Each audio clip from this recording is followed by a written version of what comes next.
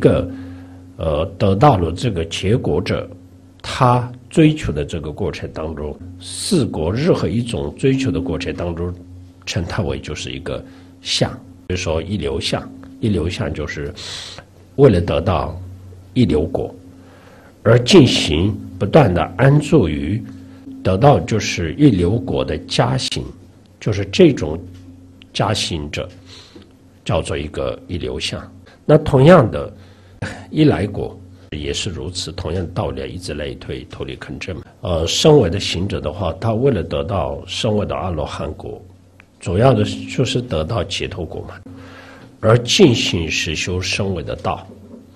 那这个修了身为无道的过程当中，他有些的身为行者，逐渐的得到了四果；有些人呢，只有先得到一流果。再来得到就是那个阿罗汉果，那么有些人呢，前三果一来果不还果就没有得到，只有就是得到一流果跟阿罗汉果，这个也有，但是这个修行者自己修行的方式不同，原因就是得到结果的时候也是不一样的。那今天我们所谈到的八圣，第八圣是什么？从阿罗汉下面就是算起来。比如说阿罗汉果，第一个阿罗汉相，第二不还国是三不还相是一两国者一来相，那就是第七个就是一流国者或者是一流相，就是这个第八个就是一流相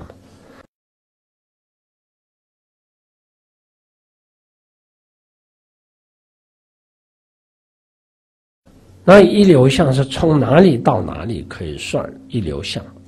就是不一定所有的身为独觉的行者达到了一流国者或者一流相，不一定的。比如说，他一开始，呃，入身为道，他本来就是一个身为的那个种性者，他比较身为种性比较强，因缘具足的话，他就入身为道嘛。那入身为道的主要的因素是，最起码就是一定要出离系的基础之上。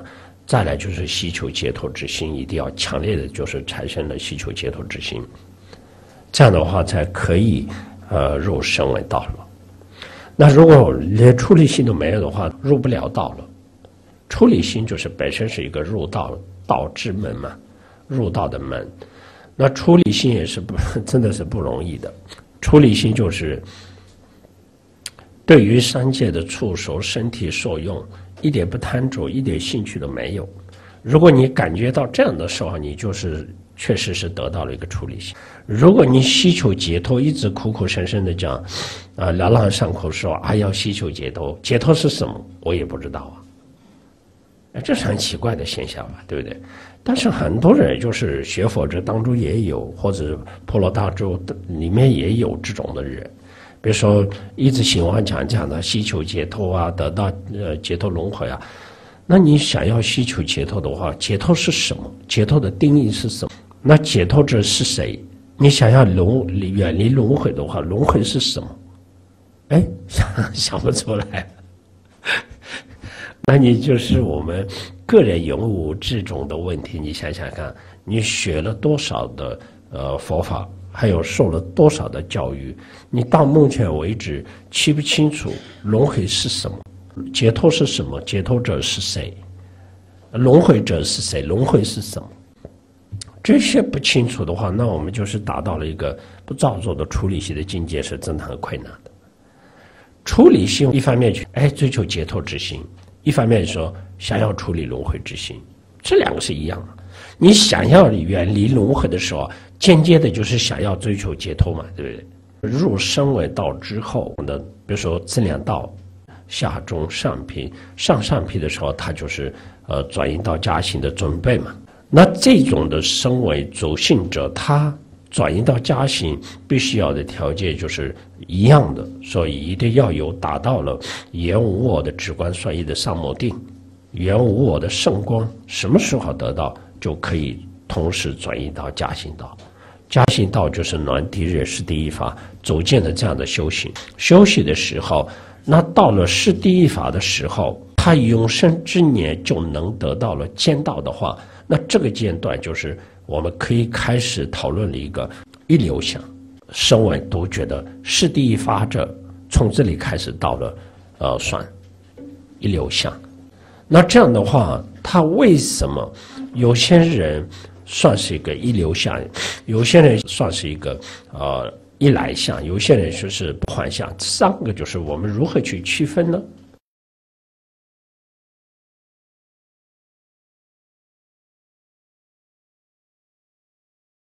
比如说，我们遇见的烦恼有分类为九种，先我们分为三种：初、中还有下三品。一个也是再去分为，就是三三品。这样的话，总共有九品嘛。欲界的烦恼九品当中，如果你达到了声闻是第一法的时候，如果你消除了欲界烦恼无第五以下的这样的一个呃是第一法者的话。它就叫做一个一流相，原因是什么？他达到了见道的时候，唯一的得到就是一流果，除了这个之外，他得不到一来果跟还有不还果。阿罗汉更不用说嘛，他不能消除欲界任何一个烦恼的种子，他就只是一个对峙现行的烦恼而已。除了这个之外，他没有能力就是完全断除。啊，欲界烦恼任何一个欲界的烦恼的种子，他没有这种能力。他有什么样的方式来对治呢？他就修了世间的禅。但是那个一流相的话，他就是还没有达到了安置的境界，所以他就是没有达到安置的境界，就是世间的安置的境界。世间的，当然是他除世间的道体性的安置已经得到了。他原无我的直观双运的三摩地已经得到了，这样的一个是第一法者，生为的是第一法者。虽然他消除了欲界的烦恼，第一到无以下的就可以现行的部分，就是它可以消除，可以说是我们论点当中可以说是一个断除。这个断除是不是彻底断除的？这个是一个只是，呃，让欲界的烦恼水面潜伏。除了这个之外，欲界第五烦恼以下的彻底断除，就是他没有这种能力。一流果就是见到十六禅啊，你们知道吗？见到十六禅啊，八种无间道跟八种的解脱道，这个叫做一个呃见到十六刹那。那所以呢，得到了最后的第十六个解脱道的时候，就可以得到一流果，断除偏激烦恼。所得到的灭地跟同时得到的见到第第十六刹那的解脱道，这两个是叫做一个一流果。那所以呢，它的主要的前提是从加西道是第一法那里开始，到最后的见到十六刹那最后的解脱道的这个中间，他不停的努力，一直去遵循，得到了十六刹那，最后的就是解脱道。所以断除偏激烦恼的一个面地，一直追寻这样的一个时候，这个叫做一个不断的安住于得到一流果的加行，不中断的安住于追求一流果的加行，所以这个叫做一个一流相。那为什么这么说呢？比如说，他一流果、一来果或者不还果，这三个有什么区别？举例来讲，你只是今生修了一些的世界的禅，你消除了世间的一切欲界的烦恼，那你消除欲界的烦恼的程度多大多高？举例来讲，我们现在就是用不同的方式来去消除欲界的烦恼。那我们现在没有能力彻底断除欲界的烦恼，原因是什么？我们没有任何的呃无间道啊。我们现在没有这个武器，没有像没有资格吧，对不对？那没有的时候，我们想尽办法，不要欲界的烦恼有机可乘，所以想尽办法就是压制，不要让它现行。你能够控制多少的欲界的烦恼？有些人就可以能控制差不多欲界的烦恼，就是我们分类为九种的话，大多数的欲界的烦恼就能控制的。有些人呢，少数，差不多一、二、三、四、五，那有些人呢，完全一个欲界的烦恼信息的部分也控制不住，那有些人呢，完全控制住欲界所有现息的烦恼，呀，你看有不同的，那一模一样。你看一流相的话，它就是控制一半欲界烦恼地无以下的，还是有控制住的。但是大部分的欲界的烦恼控制不住，所以呢，他就是一流果。也许他就是虽然是身为圣者，还是他由于烦恼导致再来就是投身轮回，就是他的问题就是这个。他完全控制不住所有欲界的烦恼的时候，他也肯定会还是第一次、二次、三次再来，就是不断的业余烦恼导致在轮回当中再来的。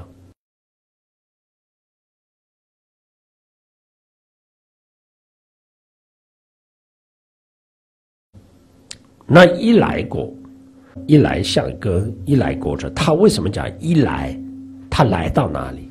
那一来相一来果者的时候，他只是一个大部分的欲界可以控制的，但是少数的欲界烦恼现行的部分还是没有控制的话，这种的原因，他还是一世再来，他一世再来，再来就是下一辈子。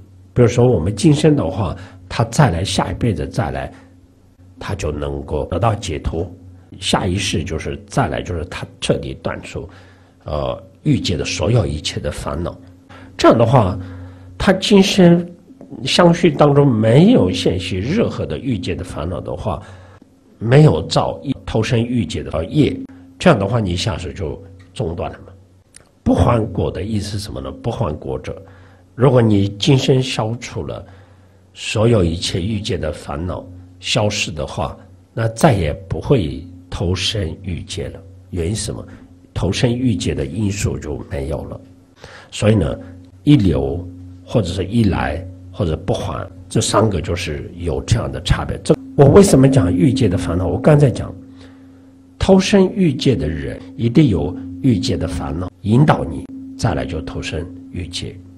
那色界的话，由于色界的烦恼引导你色界。那无色界的话，由于无色界的烦恼引导你无色界，除了这个之外没有的其他的。我们平常讲业余烦恼导致，业余烦恼导致主要的是引导者就是一个三界的烦恼。那所以呢，一流相的话，它也不能对治上二界的烦恼，它也不能完全消除欲界的所有的烦恼。这样的情况下，它还是在。由于欲界的烦恼导致，再就是即世，就是投身欲界一流相的界限的话，居士论世亲的看法来讲的话，一流相就是从收尾的世第一法，夺觉的世第一法从那里开始得到了第十六个解脱道的时候，他就叫叫做一个一流国者，他已经得到了一流国，所以呢。不像不算是一个一流相，他已经得到了一流果。那如果你见到的当下还是没有完全就是消除了欲界的烦恼，但是你大部分的，比如说六七八八种的欲界的烦恼消失掉的话，你终于得到了见到十六刹那的最后的解脱道的时候，你就可以得到了一来果。它就是比一流相比较就是。厉害的原因什么？他已经断除了大部分的欲界的现行烦恼，他再来就是投身世间的欲界的因素是比较少的，所以呢，他只有一次来遇见，再来就是不会来的，不会投身的。这样的话，他就是叫一流相。一流相的界限是是第一法开始到第十五刹那。可以算是一来一来相，第十六刹那那一刻，不管是怎么样，都是可以说是一来果，一来果者，他已经得到了，一来果。那第三个不还果的意思是什么呢？加行道的衣裳的入间道之前，他已经消除了所有欲界的烦恼的话，这个叫做一个不还相，他准备开始追求了不还果。他还没有得到了见道十六禅的第十六个解脱道之前，他就已经消除了欲界的所有的烦恼。那这样的人得到了最后的第十六刹那的那个解脱道的时候，他就能得到了不还果。原因是什么？他从此之后就再也不能投身欲界了，他已经远离一切欲界的那个现行的烦恼。那所以呢，阿罗汉相就是很没有问题的。他追求阿罗汉，一直不断的修道者就可以阿罗汉相嘛，对不对？这没有什么问题的。阿罗汉就是解脱轮回，就是阿罗汉果嘛，对不对？五浊菩萨在《阿弥陀佛上论》当中讲的一流相，还有一来相、不还相，大概就是他见现时都是一个见到以上。这两个不同的地方就是这个《居舍论》当中一流相也好。哦，一来相也好，不还相也好，这个都是间歇是可以收为独觉的，是第一法开始可以算。所以呢，这个是呃两个论点不同的点，就是这个。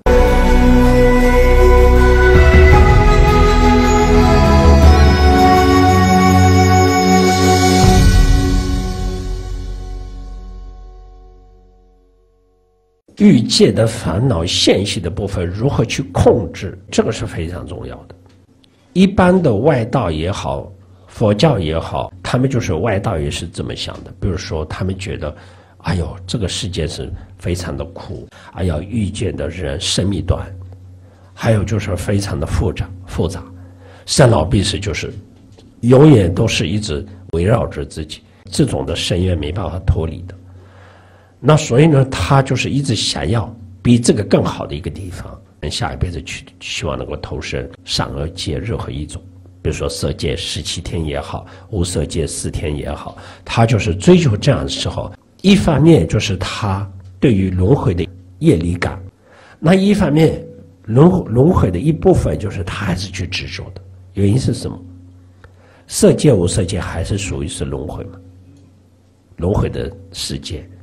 那所以呢，这个是不算是一个处理性，但是表面上看起来有一点处理，但是这个是片面的处理，不是一个完美的全面性的一个处理，所以这个也有问题的。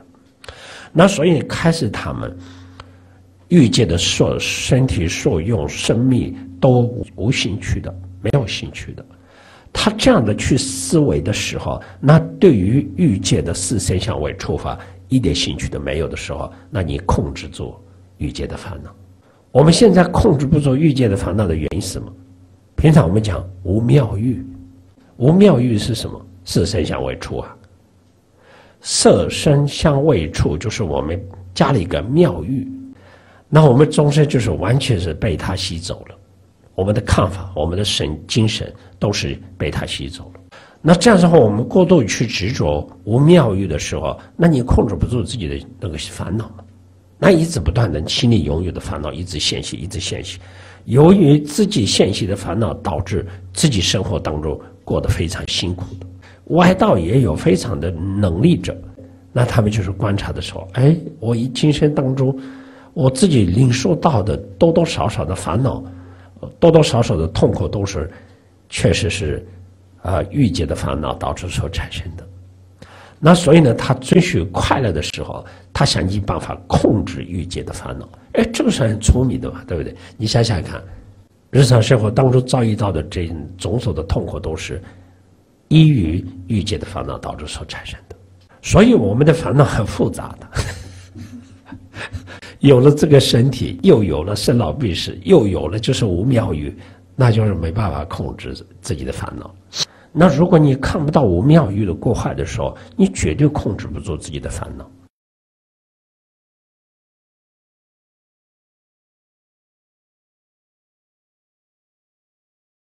我们看到就是裱画公司里面的所有的四身香味触发的时候，强烈的现起就是我们自己的烦恼嘛。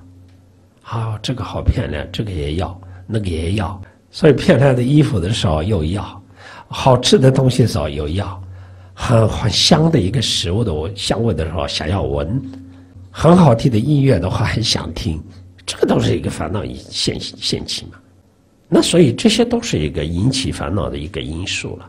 如果你控制不住的时候，那所以这个上面加了一个我们的身体无欲，所得到的结论是什么？你看，我们个人知道，日常生活当中我们面临到的这么多的。问题，我们如何去面对，真的不知道。比如说外在的一个物质上条件上发生一些事情的时候，我们就是叫朋友来帮忙，还有就是我们到处的去求求助吧，对不对？可以解决的。但是内心面临到痛苦的时候，那你没办法的。如何去解决自己的内心的痛苦，对不对？如何去承办你游河的安乐？你如何去享受自己的快乐？所以问题在这个地方。这都是不在于外在的物质上，都在于我们自己的思想或者是情绪上面嘛。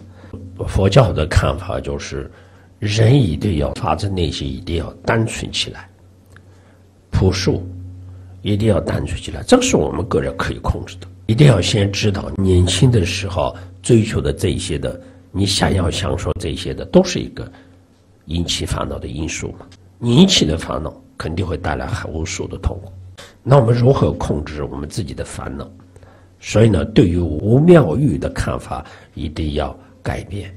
其他的畜生的话，我们大概就可以看得出来，这么凶狠的老虎、狮子、豹，它们吃饱了以后就是晒太阳，就是躺在地上，就旁边就是猎物出来了，它就眼睛看都不看。它饿的时候就开始攻击。我们人类不是这个，今天吃饱。温暖的时候，还是想明天、后天到老死的之间，都是一直想啊，怎么办呢？我老了以后怎么办呢？我死了之后怎么办呢？所以，知道吗？我们人类的就是最悲哀的地方就是这个：你今天吃饱穿暖也不够了，你一直想明天、后天，还是后天、明年，那就是永远就是满足不了的自己的。这样的话，你怎么可能这个思想当中你就得到柔和的安乐？不可能的，他完全让自己的心就扰乱了。那实际上来讲的话，你想的跟你就是做的，完全是南辕北辙的，这种的感觉。你看，想要就是追求的就是幸福快乐、安祥和，那我们做的想的都是相反的。确实，我们实际上来讲，人生短暂的事情。释迦牟尼佛提醒我们：诸喜无常，有漏皆苦。主要的第一个是我们一定要时时刻刻的提醒自己、警惕自己啊！我是永远都是一个不停的生灭，死亡无常。那你看，想想看，每一个人就是最长，就是你活到了九十、一百，对不对？很少数的。那你现在到了什么样的年龄？你算算看，那你还是想胡思乱想干嘛？有用吗？没有啊！一天一天就是过生活当中往好处想，现有的生活让自己幸福满足，这样的话你才可以把握住自己的幸福。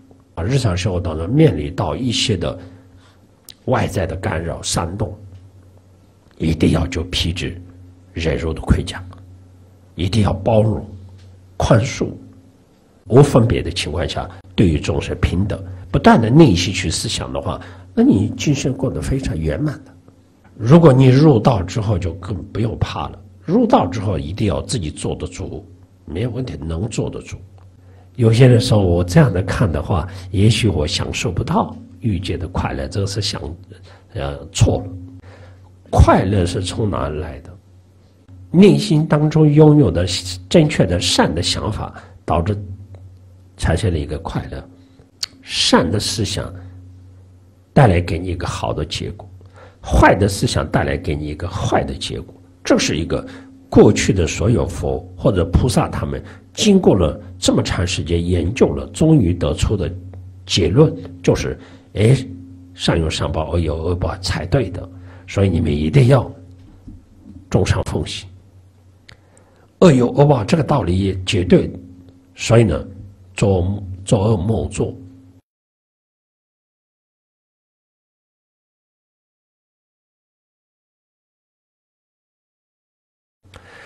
平时我们讲菩萨跟还有就是呃身为独觉的行者两个差别是什么？菩萨也许投身欲界、三界都有，为什么？菩萨投身欲界跟色界的原因是他为了帮助欲界的众生跟那个色界的众生，他发愿，他的发心力，导致就是他投身到就是欲界色界嘛。他不是不像是我们身为独觉的行者，跟我们凡夫众生一样的，我们是业余烦恼导致不由自主的投身三界之中。菩萨是有自主的情况下，他就是纯粹的善发愿力或者呃发心力，就是投身这个世界是不一样的。为什么控制欲界的烦恼再也不能投身欲界呢？十二缘起当中我们提到的就是无名行识爱取有，六个因当中无名行识爱取有，这个里面就是有多少的烦恼的部分。无名是烦恼，行是业，事是我们种子安法的基础。爱区有，爱是一个贪心，区有都是一个属于是一个执着的部分。那这样的话，大部分的都是一个烦恼，业余烦恼导致投身三界任何一个之处的人的话。他先一定要现息现前，你投身哪里？比如说举例讲，你投投身欲界的话，一定要投身欲界的爱区有一定要现息才可以现前，强烈的现息才可以你投身到欲界嘛。所以呢，你还是没有投身欲界之前，一定要有欲界的烦恼现息才可以投身欲界的。它不像菩萨投身欲界。那如果你。投身色界的话也是一样的，还没有投身色界之前，一定要强烈的现行投身色界的爱趣有，才可以投身色界嘛。他的问题就是这个，所以我们平常讲就是能不能控制欲界的烦恼，这是我们看个人嘛，对不对？我们不能说是哎呀，我马上就控能控制所有一切欲界的烦恼，不可能的，一步一步的。主要的，他的罪魁祸首就是，但是我执嘛，我执不让你看到它真实的面目，它永远都是一个中间有隔阂，一个戏论。无名我执不让你看到一切的真实的面目的时候，你就是看错了，误会了，那误会很大的。那第一个是。无名我执不让我们看到一切法的真实的面貌真相的时候，中间它引起了很多的烦恼。他再来不是不仅仅是不让我们看到一切的真实的面目而已，他误导了。误导什么？我执他永远都是看自己，捏造出来一个自信有的单独的我，单独的一个我，看到其他的法。所以他就是看成为一个单独自系有的实实在存在的一个其他的法，就是制造出来的。我执是属于是我们个人的，我们一直不断的跟随我执而转的时候，被就是那个我执来控制的。控制的情况下，我们从无始以来到现在为止，一直不断的习惯，一直不断的习惯这样的一个我执的情况下，我们就是认为就是这都是一个正常的。我们举一个例子，我们比较明显的一个例子，做梦的时候，但是梦是是一个颠倒的，好梦也好，噩梦也好，反正就是你不管是做了什么梦，你把它当做一个真实来看待嘛。好梦的时候，也许有些人被你吵醒的时候，你就很生气了。你吉祥的梦被人家叫醒了，所以所以对他生气嘛。你有这样的好梦的时候，你还是继续。梦下去，追求原因是什么？好梦好的就是每一个人都喜欢。那噩梦的时候，那被人家叫醒的时候，你就感谢他吧，对不对？哎呦，感谢你了，不然的话我就受不了。刚才做噩梦，为什么这样的一个感触？你想想看，你把梦做梦的时候，你把它当做一个真实来看待的原因，有好坏的一个感触，很明显的。那一醒过来的时候有这样的感觉吗？没有啊！哎呀，好梦也是好可惜，这个是不是真实的？噩梦的时候，舒了一口气啊，还好，这个是梦，不是真实的。佛也是用这样的方式来引导我们。我们受恶我执的影响，到现在为止，我们永远都是自自然然与生俱来的一个想法是什么？你没有自信。